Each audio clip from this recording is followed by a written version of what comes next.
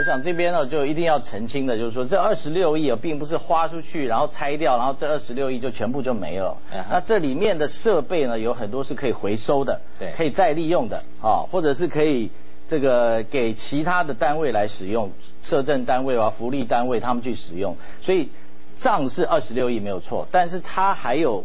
回收的这个利益所在，好，所以并不是说想象的全部就全部打掉，这归零了，并不是。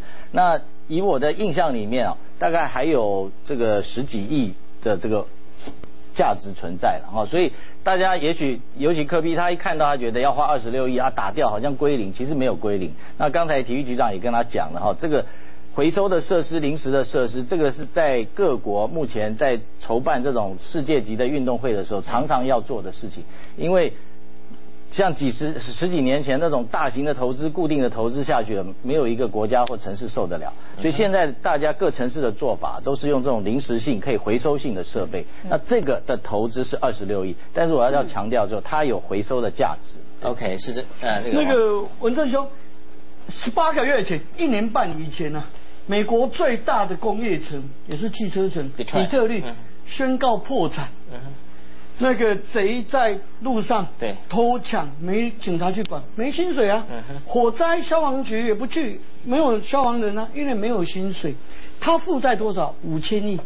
我们台北市现在负债多少？一千七百八十亿。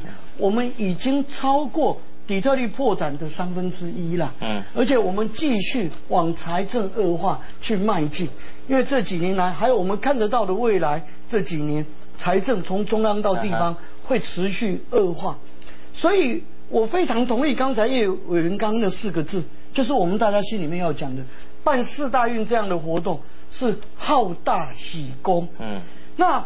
马英九跟郝龙斌那十六年的执政，最人家让人家诟病的也是这样。你看，从花博设计之都听奥到现在这一个，哎，四大运就是这样。四大运总体其实是要两百七十亿，时间关系我来不及一一说明。但是我觉得花这么多钱，最可恶、最糟糕的是什么？是我们竟然培育自己国内体育人才，竟然没有这样的专案。也没有这样子的花费。大家试想，伦敦的奥运的时候，伦敦是在奥运里面全世界参与的国家一百零呃一百零一个国家里面，它是总排名第二名哎。他为了伦敦奥运，除了做那些硬体以外，他们有一个长期的八年的一个培训计划，说我就是要来对在我的国家举行嘛，我怎么可以闹亏呢？结果我们这样子的计划付之阙如，是零啊。花在人才培育，为了四大运这部分的预算也是零啊。嗯，还有马英九跟郝龙斌执政，他们这四任十六年以来，我们的财政增加了五百三十亿。台北市陈水扁交出来的时候，一千两百五十亿的负债。嗯，这十六年被他们一折腾，这还是最后这一年哦。嗯，郝龙斌赶快把比较好的位置。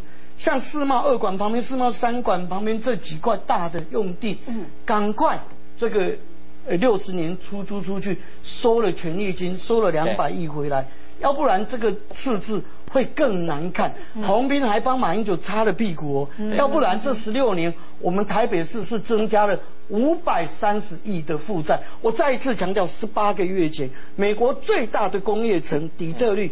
他是宣告破产，是没有台北市没有自己宣告破产的问题。我们回到四大运本身呐，四大运尤其是选手村花一百七十一亿，就是一百四十七亿的的这个建筑费用，再追加二十六亿。的这个我们刚刚讲的这些什么拆掉还会，刚议员说的还会回收，鬼啦！我告诉各位，这很简单。问国民党的议员应小薇最清楚，这根本就是所谓的太极双星的翻版。因为大家去看四大运选手村承包的这家公司叫黄昌营造，黄昌营造在台湾的司法史上，在台湾的公共工程留下多少的弊端？而且呢，他最厉害的就是我拿了一个工程之后，我会想办法再追加一笔预算，然后呢，让大家。都有利润来分享，那他呢搞官商勾结最厉害。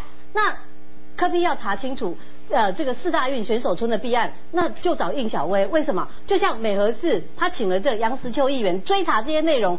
真正的关键在于说，你看他这里头包括哦，包括连招标公告哦，你看。连招标公告都要改八次，改八次之后呢，符合特定厂商的利益。你告诉我为什么？这不是一个大弊端，这是什么？就是你一直不断的在举债，然后图利特定厂商。Thank